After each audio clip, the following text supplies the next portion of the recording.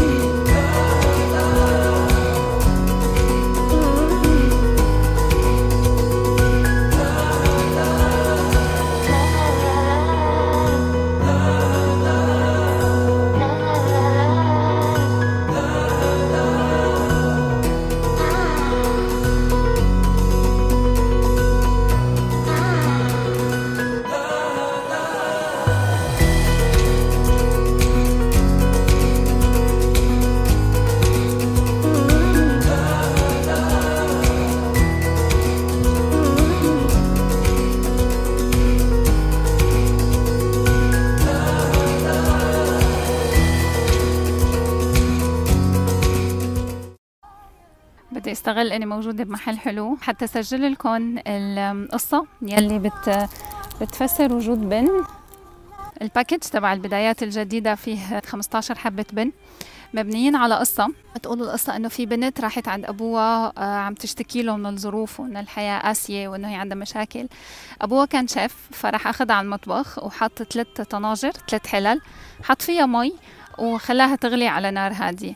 لما غلت المي حط بأول طنجرة بطاطا بطاطس يعني بتاني طنجرة حط آه، بيض وبالثالثة حط بن.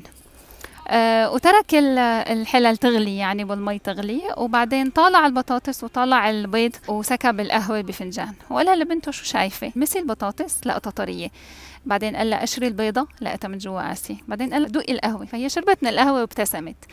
فقال لها شايفة؟ البطاطا والبن والبيض نحطوا بنفس الظروف. ثلاثتهم نحطوا بمي مغلية. البطاطس صارت طرية والبيض تأسى من جوا. كان طري وصار قاسي. لكن البن تحول لقهوة. نكهتها حلوة وطعمتها حلوة وبتفرح الشخص يلي بيشربها وبيدوقها أنا حبيت أحط لك بالباكج تبع البدايات الجديدة 15 حبة بن للثلاث شهور اللي جايين أكتوبر نوفمبر ديسمبر ولا 12 شهر تبع سنة 2021 حتى كل شهر نكون عم نتذكر انه نحن نبقى ونعيش ونكون رغم الظروف نكون مثل حبة البنت.